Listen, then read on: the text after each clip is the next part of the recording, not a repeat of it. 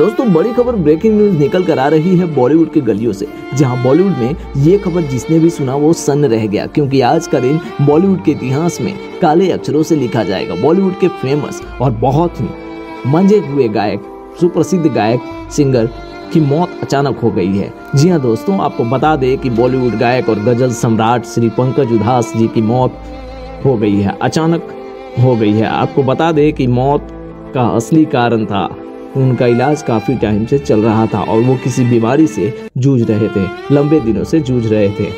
उनकी मौत हॉस्पिटल में हुई। हमारे चैनल खबरीवुड उनकी आत्मा की शांति की कामना करता है।